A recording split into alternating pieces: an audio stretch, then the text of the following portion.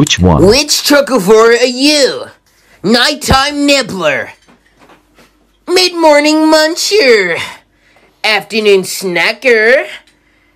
Coursework nigger.